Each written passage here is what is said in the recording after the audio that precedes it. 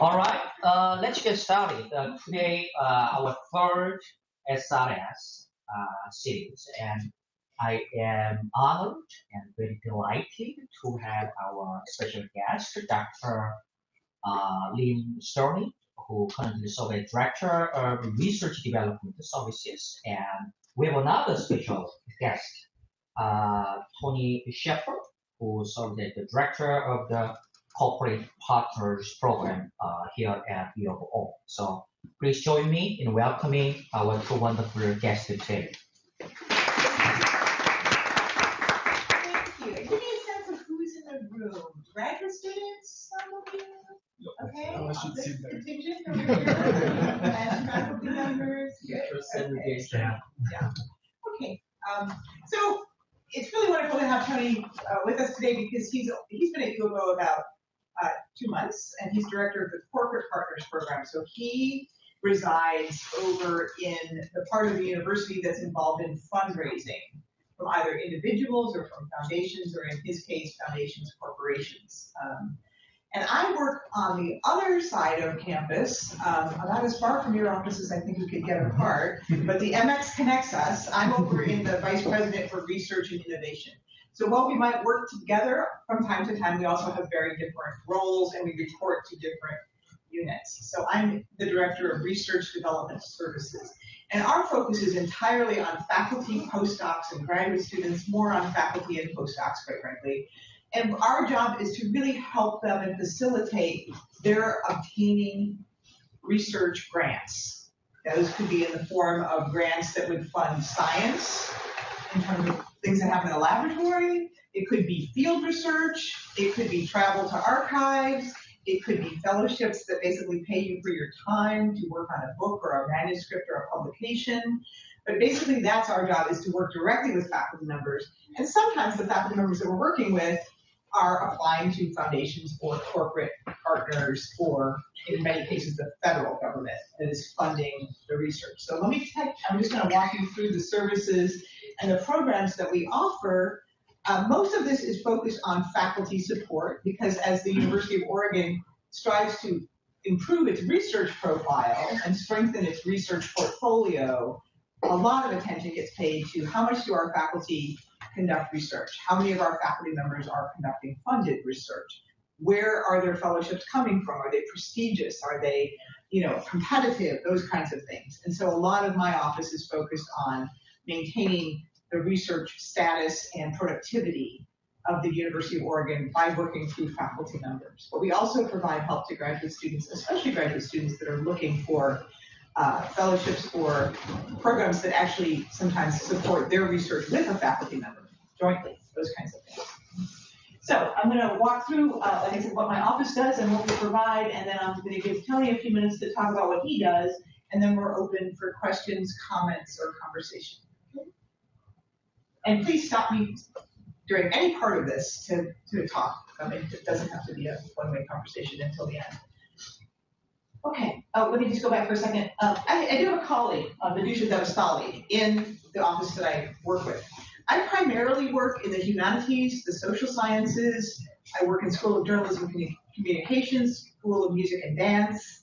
Across those units, Vidusha is, is a biochemist by training, um, and she also has a, a degree in public administration, and she tends to work with our scientists in biology, physics, chemistry, uh, and pretty much that side of the portfolio. So she's very familiar with the Science Foundation and the National Institutes of Health, where my portfolio is much broader in terms of the kinds of agencies, but usually the grants I'm working with are smaller in terms of dollars. So uh, we are both members of the National Organization of Research Development Professionals. All I'm saying here is that there are people like us on almost every campus in the United States, and we primarily enable competitive individual and team research because the funding environment is so competitive. Uh, we function almost like coaches for faculty members who are trying to obtain research funding. Um, and we provide a variety of services to them in that process. And uh, we also basically look a lot at partnerships, like where are our faculty members doing research that is also happening at another institution or where our strengths might complement their strengths. So we also reach out to other institutions and other potential partners to say, gee, it would be interesting to collaborate on this project together or on this type of project together. Or we need somebody with an expertise in um, parallel modeling. We don't have that at the U of O. Where is that a strength? And could we work with Carnegie Mellon? Or could we work with Oregon Health and Science University? Or could we work with another institution in terms of securing, again, securing funding? Um, because the external funding environment is so rich, but they're very targeted about what it is they want to achieve. And a lot of times all of those strengths are not at one institution. So you really have to work across different institutions to put together collaborations um, that will eventually secure that external funding. And we basically also talk about best practices for attracting external funding for both scholarship and research. Um, so what is it that we could be doing what are other institutions doing to make sure their faculty are prepared to compete? So, one of the things we do and one of the ways people know us is that every Tuesday at noon we send out a newsletter that has that at the top and it says funding opportunities on it. So every week I get probably between two and 300 different notices from every agency of the federal government, from private foundations, from corporations, from the Foundation Center, from Howard Hughes Medical Institute, from all different kinds of places. Um, and they basically cross my desk, and I look through all of them, and I pick out between 15 and 20 each week that I think are of broad interest to the research community that we have here at U of O. Now, obviously, U of O doesn't have an engineering school, we don't have a medical school, we don't have uh, animal science, we don't have pharmacology, so a lot of those things that are passing my desk are not going to be relevant to us. But it's my job and Vijusha's job to figure out which ones are relevant and to make sure that we get those disseminated each week in this funding opportunities newsletter. In addition to that kind of broadband and fairly generic uh, funding opportunities newsletter, I'm also very glad always to meet with members of the faculty or graduate students and find out what their research is about, and then go out and do a personalized funding search for them to say who is likely to be funding this work, who has funded work like this, you know, where should we start looking for funding based on your research profile? Okay. All right. And basically, I always, in my website, keep uh, track of the archive newsletter because sometimes opportunities come up every year around the same time. And so even though I haven't announced it yet, if you know that your opportunity is coming up in March, you can look back at my prior newsletter and say, oh yeah, the deadline last year, here's the link, I can read the RFA and see that it's coming out soon. So it's really, the funding world is a fairly cyclical environment where certain things happen at the same time every year. And you can pretty much anticipate when you're going to get your funding opportunities. Not entirely, because things change every year too, but for the most part, you develop kind of a predictable cycle of, of when things get announced and available. So we also provide training and professional development opportunities for faculty members. We do a big grant writers seminars and workshops uh, day once every two years. This is primarily for scientists who are funding, getting funding from NIH and NSF.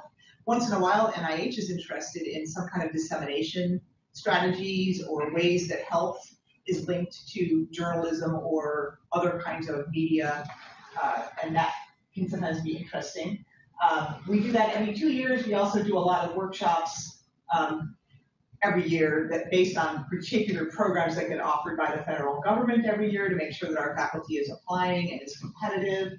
And we basically do specialized workshops on request. So for example, in the last couple years, one department or other kind of research centers or units call me in and I just do a workshop just for them on, on who are the best funding opportunities, where are the best funding opportunities for their type of research, and what do we need to learn about writing successful proposals in that field. Um, and a lot of times I, I try to have example winning proposals, examples and things like that that we kind of look through together. Okay, other kinds of things we do. Obviously, we're particularly interested in getting new faculty members off to a strong start, so we do an early career program for new faculty. This is particularly important, again, in the sciences, because if they don't get funding for their science, then they cannot conduct research. It's the grant that pays for the research, and the research that leads to the publication, and the publication which becomes uh, the valuable output of their research and then starts the next cycle of applying for funding, conducting research, and getting publications. So it's particularly critical that new faculty in the sciences get off to a start. But not only new faculty in the sciences, we also do work with faculty across the campus. But it tends to be a habit, like a lot of things. that people get in the habit of seeking funding, um, then they tend to keep doing that. Um, and every couple of years they land something and it's uh, it's just like publication, right? You have to stay at it, you have to keep it on your radar, you have to do work every day and every week and every month to make sure that your proposals are going out um, in order for your funding to come in.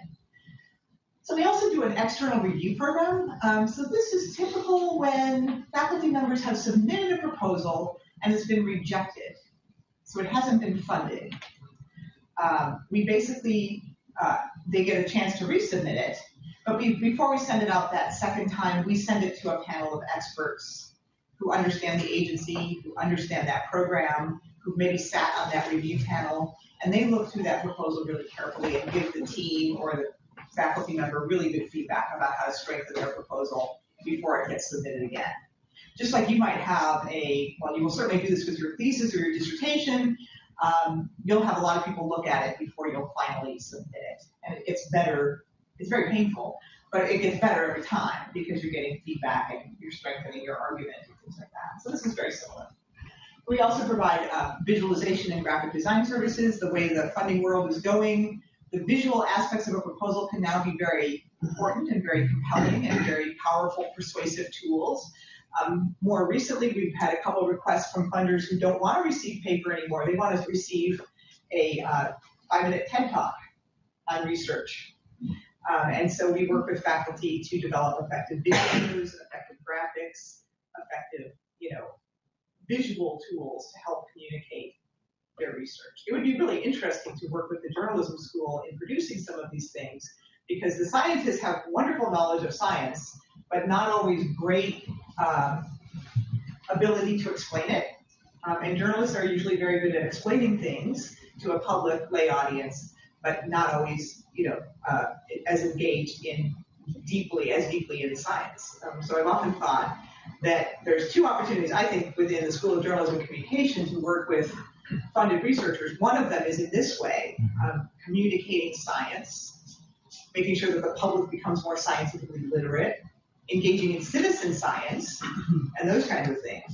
And the other place I see a lot of uh, crossover is in terms of environmental work that happens uh, at the U of O and journalism. Environmental journalism has gotten to be quite uh, an interesting arena uh, for people to work. So that's uh, what we primarily provide. I do have a pretty robust website, um, and it's at rds.uoregon.edu, and everything I'm going to talk about is accessible, obviously, from that website. But um, basically, I have a section on funding and awards. That's where you can archive the, or find the archived versions of the funding opportunities newsletter. You can find a list of fellowships and awards that are available. Internal funding, which is what we make available to faculty members, limited submission calendar, and lots of links to external funding and resources. Going to talk through some of these other things. Resources primarily for grant writing. Um, if you're having to submit a data management plan, which you have to do if you're a scientist in terms of how you're going to manage and handle your data, we have some examples there. And then services, training, professional development, external review, proposal development, which is basically us working one-on-one with faculty members and coaching them through the development of a proposal, as I said, visualization and graphic design. And we also decide uh, at the university who becomes a principal investigator, which just means that they basically are financially responsible for the funding that comes in but it encompasses certain kinds of training to make sure that the U of O as an institution is stewarding those resources effectively. So a lot of people have the misconception that when somebody gets a grant, um, that they just get a bunch of money and then they walk away with it. But it's really not like that. It's more like a contract. It's like people have given you a contract to do something with that money, and they want to know at certain points in time what you have gotten done and how much you have expended and you report back to them, usually once or twice a year, on what's happening with that money, because that really is somebody else's money. And they gave it to you to do something with it. Just if you, like if you hired a plumber to do something at your house, you would want to see some outcome from that. So although that's not a, a, a sophisticated example, it's a lot like a grant um, because you, people have awarded you money to do something, and you have then the obligation to either do it or to return the funding. UO as an institution is held responsible for all of the different monies that come in. And for U of O, that's about $115 million a year that we have to track and manage through the work of faculty members and principal investigators and graduate students and postdocs and trainees and things like that. So it's a lot of responsibility on the part of the institution, and we are audited frequently uh, to make sure that we are handling that money appropriately. It's being expended the way people said it would be expended. Okay, so principal investigators have to go through some particular training to make sure that they are good stewards of the resources that they receive. When I talk about proposal development services, I really mean this is, you know, uh, like being a personal coach uh, to people who are developing pretty complex proposals. Most of these are 15 to 20 pages in length, and they have a lot of, you know, intense content. And so we're basically working with faculty members and teams of faculty members to make sure all the parts and pieces of that come together. A lot of times it's just helping people get organized developing a strategy for their proposal, just like you might organize a strategy for a thesis or a paper that you're developing, and basically get uh, non-technical sections developed that we can work with them on. Obviously, we're not scientists, uh, or at least I'm not a scientist. Uh, is a biochemist, but uh, but a lot of this is sort of practical common sense. Um, my own PhD is in rhetoric from Penn State, so I have a degree in argument. Um, and basically, a proposal is a good argument. Mm-hmm. Um, it's a very compelling argument to carry out some kind of research that because of its significance, its importance, its impact, its population, those kinds of things. Um, so that's kind of the background that I bring to it. Um, and we always provide proofreading and copy editing. So things get pretty wild in the last 24 hours before submission, and to just having somebody go through and proof and copy edit and make sure that all the errors are fixed and um, all the typos are prepared and all of those kinds of things can sometimes be a tremendous service. And obviously, like anything else, um, a proposal makes an impression on an audience. Um, and if the people that are reviewing the proposals are seeing a lot of typos and errors, they're saying, well, what kind of science are they going to, or what kind of work are they going to do? What kind of research are they conduct if they're sloppy in their proposal? So it's an important um, point, although usually left to the very last minute. Okay, we also manage a limited submission calendar. Basically, there's certain opportunities every year that come through the U of O where we can only submit one.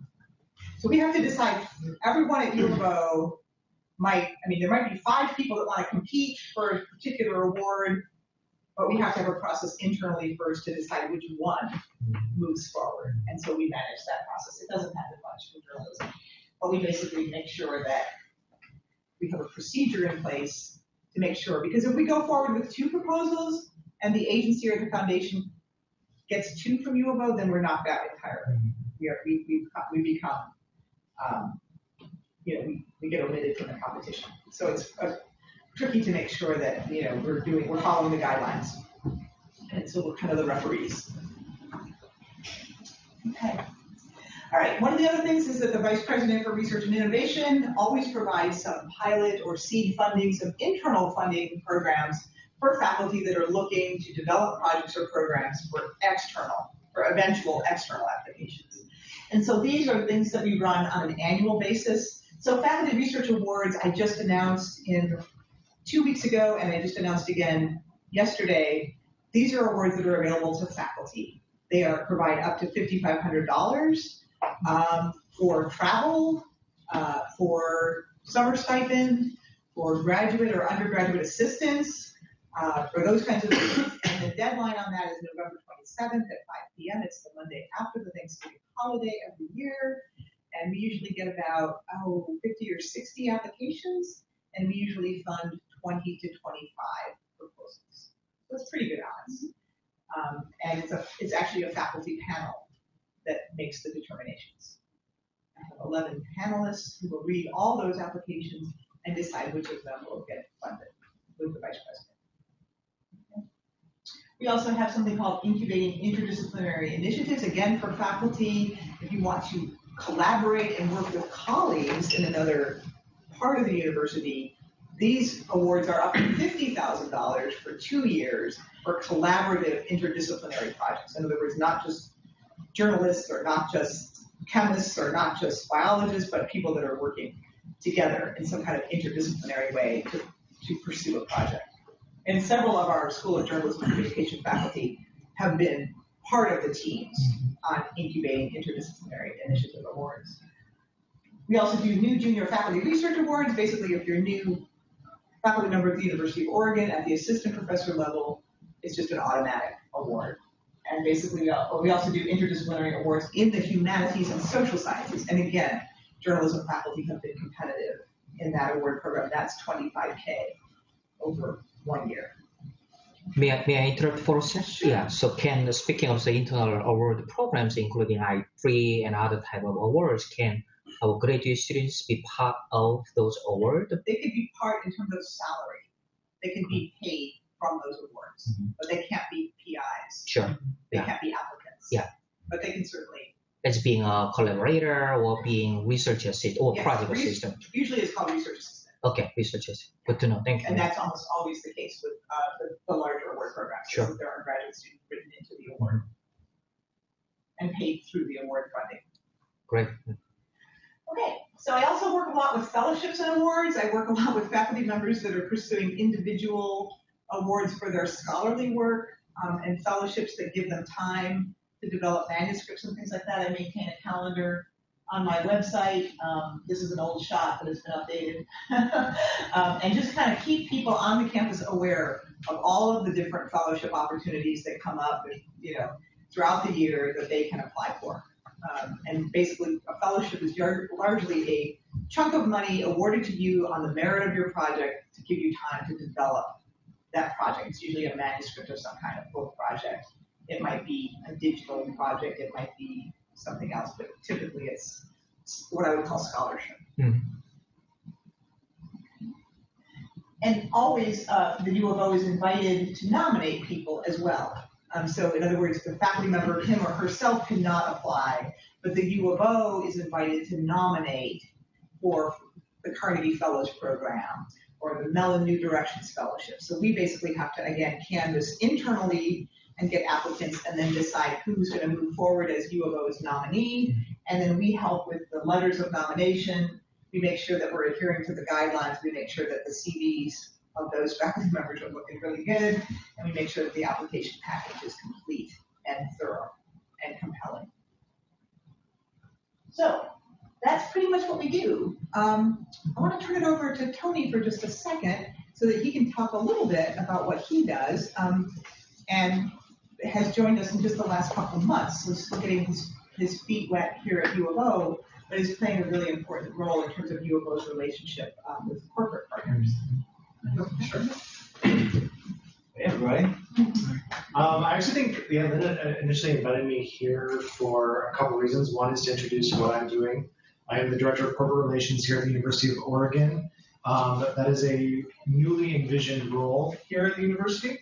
In the past, we had people that were in charge of corporate partners programs, which a lot of universities have, and that's really kind of just chasing after different corporations, trying to get $5,000, $10,000 gifts so the corporation can get their name on a wall somewhere and, and we can feel good and build that up. But that wasn't really leading to big impact across the university. Um, so what was created is this new corporate relations role where really my primary objective right now is just to increase engagement with corporations and industry across a wide array of um, uh, areas on campus. Um, that includes trying to get more intern opportunities for students at different corporations. Um, seeing corporations want to sponsor specific research, sponsor research, especially big in the science industries. Um, have having more corporations take part in recruiting. Um, just basic things like that. And the idea is that really once corporations are becoming more engaged, more invested in the university, like down the road, they are going to be more likely to, you know, contribute, to invest, to really feel the University of Oregon is a partner for them. And that's really kind of also important today, because corporations are not nearly as philanthropically minded as they once were. I know some people might not believe that, but yeah, they're, they're out to make money and they want a return on investment. And that's really what uh, we're trying to do. We're trying to find mutually uh, beneficial points of alignment where they need talent in certain areas. And we have a great program in those areas and we can kind of connect on that. And they see that University of Oregon is really channeling talent into them, and this should be something they should be taking a closer look at our programs and seeing if they should be supporting them with monetary grants. So that's really what I'm doing right now, what I've been tasked with at the University of Oregon uh, to develop this program. It's brand new. Um, and so far it's been going good. We're starting with some focusing on a small handful of corporations that can uh, partner with us across a wide range of ways. Uh, Thermo Fisher is one, so Eugene, Intel, obviously is the big one, Oregon, IBM, things like that. We're really trying to establish deep relationships with those corporations. Um, and the second reason I think Lynn uh, invited me here, especially is this, the, are you all journalism graduate students mostly here in the room? Okay, so previous to this, I worked at NPR. Um, I was the uh, director of institutional giving for the science desk at NPR, which meant that I was um, the primary fundraiser working with foundations and corporations to raise funds to support their um, science journalism, um, which was at NPR in the headquarters at DC, the largest desk, um, with about 40 journalists and covering issues in health, global health, uh, the environment, um, physics, you know, astronomy, all basically a wide range. Um, and honestly, as future journalists, this is an important part. I mean, a lot of you think they, are going to go out there and you know do the stories, and that's and kind of that'll be it. You'll be working on your own and doing that. But really, in organizations across the board, fundraising is becoming an incremental part of their um, real revenue strategy. Um, not, not as many people are, you know, buying or subscribing to newspapers. Even the New York Times subscriptions are going low, and they're starting to really kind of adopt NPR's model of going and having foundation partners that are giving to support certain areas, going to corporations to do um, certain kind of uh, partnerships in areas, um, and also some advertising. Uh, one of the things I didn't really do and NPR is hopefully not going to do is native advertising. How many of y'all know that that is? Um, in case you don't, if you're ever on the New York Times website, you'll see a there's a little line that says sponsored uh, content, and then you'll see like a story that's designed specifically to look like a New York Times story. That's called native advertising, and that's basically corporations are spending money to kind of put in either feel good stories a lot of times or otherwise it's um, just kind of stories that highlight how good of a company they are. It's a little higher ed doing that now. Huh? Chronicle Higher Ed does that. Chronicle Higher Ed, yeah, a lot of people are doing that. NPR is trying not to. There's they're starting to blur the line, but I mean it's they really um, sell themselves as being a fact-based, unbiased news source, um, and so they don't really want to seem like a corporation is really coming on there and impacting what they write and how they're reporting Um, but yeah, so those are basically just quick, very quick overviews of my my work here and my work at NPR. So I don't know. I guess. Okay, so we can open it up to questions. Yes, Um, yes, Q and A's. Yeah. So can we come brainstorm ideas with you guys? Uh, is that something that's all right? Like some of the, I know you mentioned that you do that, but I'm interested also to talk about some corporate partnerships. Uh, it's something I I'm working on. Yeah. So yeah, I definitely can.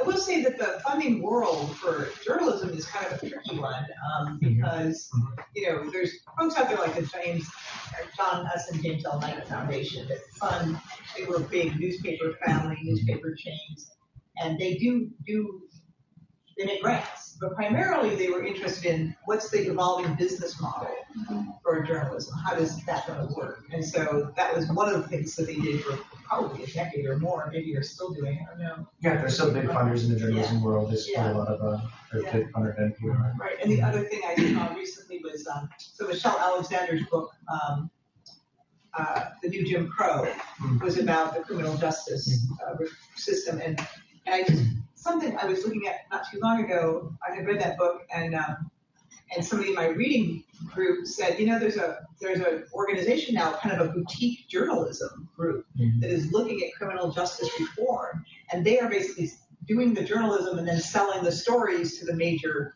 media outlets. And it was again sort of a, uh, interesting, uh, Yeah. model of how journalism could look in the next 10 or 15 years, where Mhm. journalists develop these very deep, uh, you know, areas of interest, and then they end up being kind of this little team of investigative journalists who are working to place stories in major media and get paid for it, a lot like individual investigative journalists are around the country. So there's, there's funding for journalism, but the study of journalism, I think, is a little bit of a harder uh, thing Mhm. to Mhm. seek funding for. Um, so people are willing to pay sometimes for investigative journalism on particular topics or within particular geographic areas or things like that. Yeah, But You know, journalism as a study, you know, is, is a little harder, I think. yeah, that's primarily the case as it was at NPR. Is that most funding is restricted, which means that you have it has to be focused on a certain area. Um, and a lot of the questions we'd often get is like, how are you? Like one of the more important things that we always had be tasked as uh, fundraisers at NPR was ensuring a firewall between our um, journalists and the funders, because you never, as an independent news organization, you never want to make it seem like a funder is affecting what you're writing about. And so it is really, they come and support a specific topic, like health. And you, sometimes like, if it got even too specific, like if they wanted to support journalism on diabetes, they couldn't do that. But if they wanted to support like our health group, people who are good on health and they're gonna write what they're gonna write, then that's what, what we would go for, which was often a challenge, because as a fundraiser, it's kind of, usually you hope to say that, this money, we'll do this, but at NPR, it was like, we're doing this. We hope you'll give us money. if you don't, we're still going to do it, but it would be better with your funds. So, um, I, I hate talking about my personal thing, but I, I try to subscribe to the your listserv to get the not only newsletter, but also all the kind of constantly updated information about the funding opportunities, internal and external. So when Lynn mentioned kind of the internal announcement sent out to you know the, the entire university community, talking about the internal funding opportunities, including the I3. And I was wondering, I've been waiting to receive, but I have not received, uh, you know, any information Not since July. No, yeah, Okay, so you can Fortunately, subscribe so- online on my website. I, I had, I, I, I did several times. Okay, then so you'll have to, yeah, is there any way for you to include someone specifically on the list to serve rather than through your online system? Okay, I will email you. yeah, so Email me about that problem and we'll resolve it at our end. Okay, yeah. It's just a mail. Yes, then uh, going back to what you're talking about, uh, you know, in terms of what we do at, at SOJC, we are not only kind of professional school, but also research purpose school. But uh, the name, uh, as name indicate, we have a diverse group of scholars, researchers, and practitioners who are specialized in not only journalism, also communication broad sense. And I would say media studies. So, like, you know, uh, one third are in journalism and new technologies, uh, the other uh, one third are in the humanities, and one third in other uh, more qualitative, uh, you know, social sciences. So we have diverse group of scholars in mostly quantitative or qualitative social sciences and humanities. So uh, as far as kind of you know building more interdisciplinary uh, research program, I think we are uh, uh, in good position.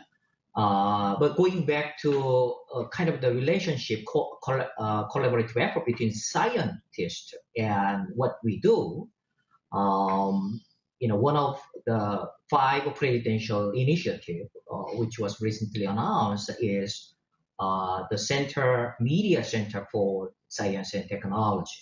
Uh, that's uh, you know our dean's initiative uh, as well. So we are super excited about working together with the scientists. Uh, but we strive to figure out what would be the opportunities for us to work together with the scientists as far as external funding opportunities go.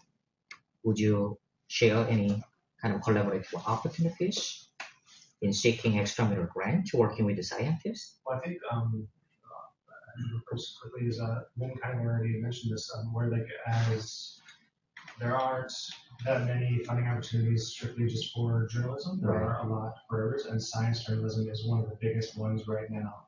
Obviously, with the uh, last couple of years, um, with the climate change denial and kind of science happening, getting questioned a lot in mainstream media, um, a lot of foundations that previously just supported scientific research have really identified that it's important for the greater public to have a better understanding of what science is and what it means, like and taking this kind of complicated language of research reports and bringing it into that level of you know just straight journalism where people can really understand that. Um, so there are a lot of foundations that are really supporting what they call scientific literacy or public understanding of science, where a lot of journalism organizations are going to.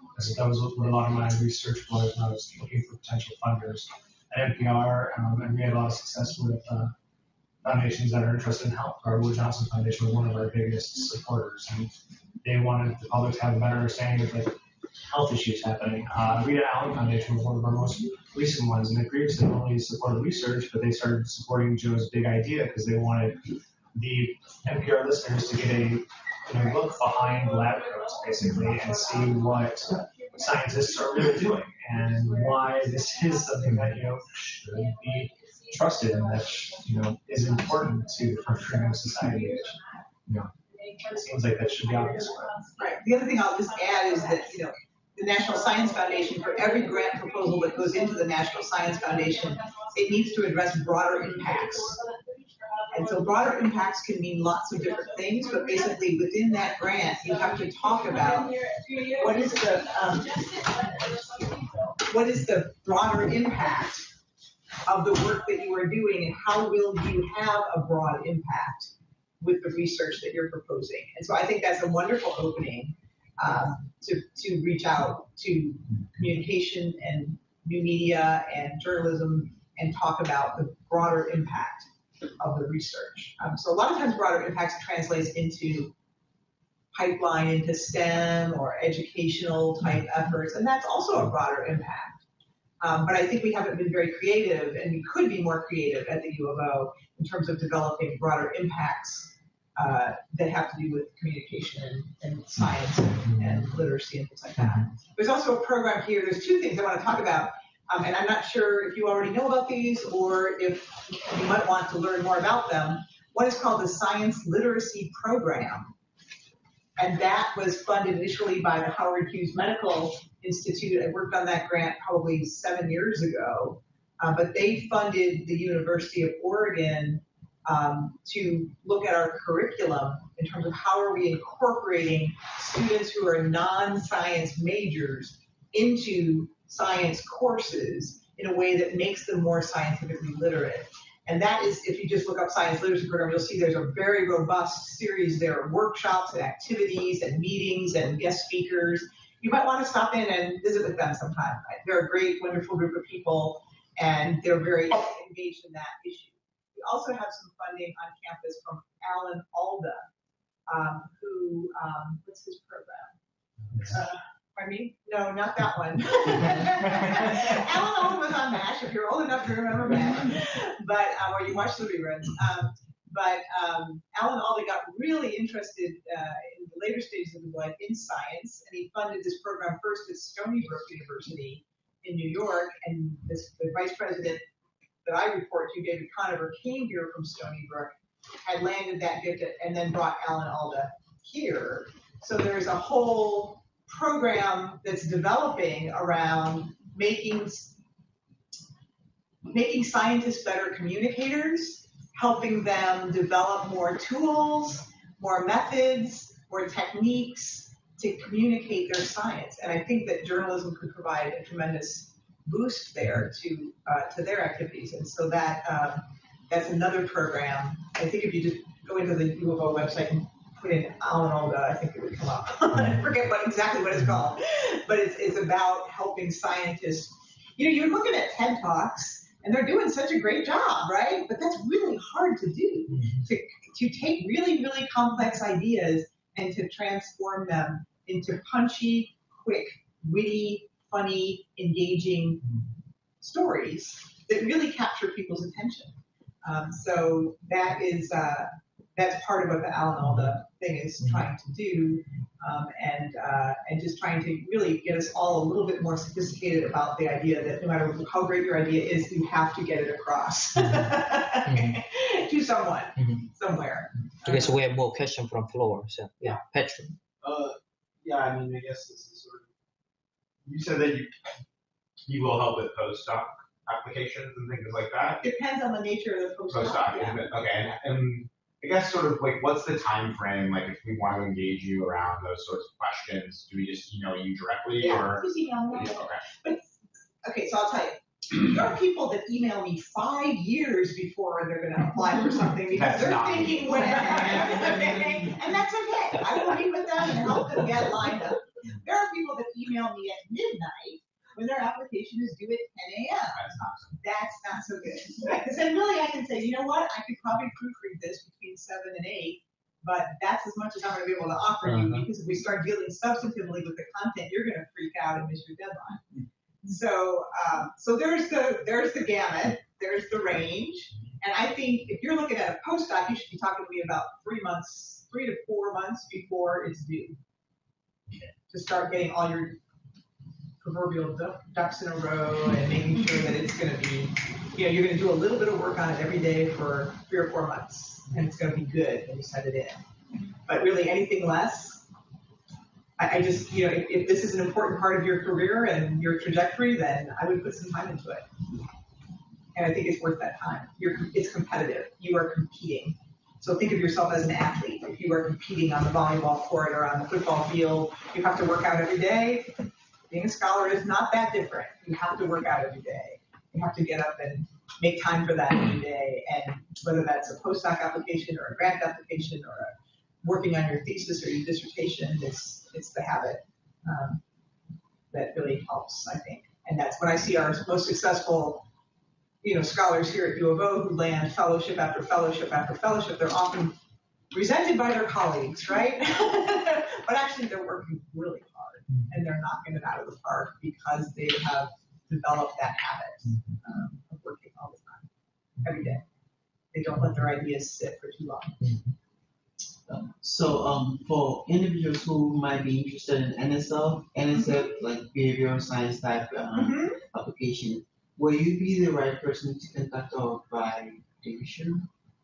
Um, if it's a social science application going to NSF, usually I work with it. Okay. And Vidusha is more, um, you know, science, science, hard science. Mhm. Physics, not, not that it's harder, Mhm. but I'm talking about physical sciences, um, Mhm. chemistry, biology, physics. Mhm. But the NSF, uh, social science directorate, um, and Yes. I, I work with economists, I work with social scientists, and I work with the law school. Social sciences and law. And when I set out my funding opportunities, I put those under, you know, there's categories, I put, and I put those under social sciences and law. Um, are there more like media studies based um, grant opportunities that you know of? Because I heard you guys talk a lot about journalism, but does that encompass like specifically media studies? I think that right now, I mean, journalism encompasses media. I mean, that they're kind of the same thing at this point. You know, it's really, but it's really, you know, it's kind of like a when you get into questions of method. Mhm. Um, I think you know, research always centers around either a question or a hypothesis or a problem, right? That you're framing.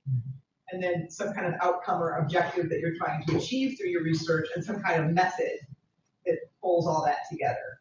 Um, so I think that one of the most challenging things in terms of getting a proposal together is, is what I call creating a logic model to help really understand the nature and scope of the problem and who it impacts or affects.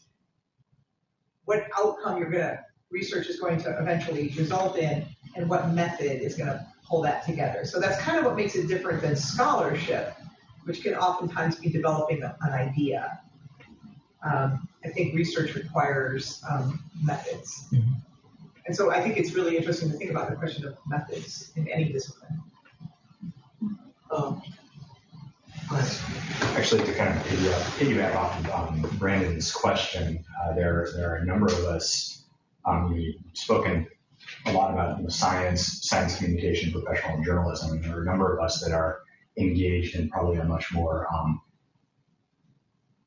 sort of academically oriented and potentially humanities focused line of inquiry. Yeah. And so, do you, I'm sure you don't have exact numbers off the top of your head, but do you see um, any significant amounts of funding available, especially for later stage um, doctoral students for things like you know, field work, interviews, um, archival Yeah, visits, things absolutely. like that, less oriented towards uh, some specific research product or deliverable, No, like you said, that Yeah, there's, I would say you're in the realm of fellowships, Okay. travel to archives, you know, field work, um, and those typically come up under, you know, kind of that individual research. So I don't have time to go through it today, but I would really suggest that any and all of you make an appointment with Katy Lenn, K A T Y L E N N. She's at the Knight Libraries, and have her walk you through the foundation directory.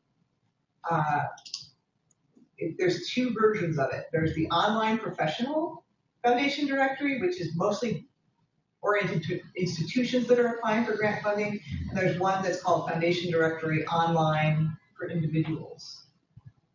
And that's where all the fellowship and creative opportunities are. So there's residencies, there's, you know, travel awards, there's those, all those kinds of things are listed there. And so you can basically do a, a pretty robust search uh, using keywords or uh, things like that to try to narrow them down in ones that will be interested in your work, the kind of work that you're doing, and sometimes your geography. Uh, there's a great deal of international interest too in um, in basically uh, you know the power of well anyway the, the, the power of analyzing different things in different countries. I mean, just say it's more international right now than I think I've ever seen it in terms of people willing to fund um, you know travel. That's actually very good to hear. Yeah, well, you have to always look at the details, you know, but, um, but I would definitely spend some time with that directory for individuals. If what you're seeing is as an individual scholar or artist or creative person or, you know, uh, that's what you're looking for. Yeah, that's a really good tool. And Katy Lenn is amazing. She's a really good resource. And so, you know, work with it a little bit on your own and then go do a search with Katy. And she actually goes to New York City every year to go through the workshop um, and learn how to use that database to its utmost. Same. Um, so um, this goes back to the conversation you were having earlier. Is there a pipeline or mechanism in place to, let's say, put people in this researchers in this um, school um, um, in touch with scientists um, projects, like so they can collaborate on are there mechanisms in place to make sure that happens? Not so much, because the scientists are kind of over there doing their thing in the zebrafish laboratories, and you're over here doing your thing in Allen Hall. But I think the science literacy program is a really way to mm-hmm. connect with them, Mhm. and I think that Alan Alda project that I talked about is a really good way to connect with them. Mm-hmm. If there's particular kinds of science you're interested in, then I would march up, you know, I would find people um, that are doing that kind of research and go introduce yourself. Mm-hmm. I mean, I think one of the things that doesn't happen very often is that people are always looking for formal channels to meet the people on campus that they need to meet, when actually you should probably just phone them up and see if they want to meet you for coffee. Mm-hmm. And most scientists like to talk mm-hmm. about themselves. By the way, I bumped into folks at the new faculty orientation Yes. where I met several Yes. Specialized in science literacy program. Yes, Right, so I so- think new faculty orientation that we're having, are you gonna be at McMorran House on Monday? No, but yeah, Okay, but, uh, but there's also the new faculty lounge, right? right. So yeah. anyway, But I plan to reach out to Yes. folks in the Yeah. science literacy program. So Right, right, It's a great opportunity. Yeah. So, yeah, so uh, I, yeah, given my role and position here at SOJC, I'm particularly interested in creating opportunity for us to learn more about how to write more compelling more persuasive, more attractive grant proposal. So uh, I know we have some, you know, a time crunching, but um, I'm wondering whether you, you know, uh, would be you know, able to help us to, uh, if you're interested in hosting Yeah. some kind Maybe of in the spring workshop. or in the. Yes. The, the spring term would be better than the Right. winter term for me. And to just kind of walk through the nuts and bolts of a proposal and all the different parts and pieces it has to include. Mhm. It, you know, just as a sort of a thirty thousand foot overview, sometimes helps, um, people just get started. Sure, sure. Thank you. Yeah. Any other questions? Well, thank you so much. Uh, yeah, We really appreciate it. I think we learned a great deal about what your office does. So thank you so much.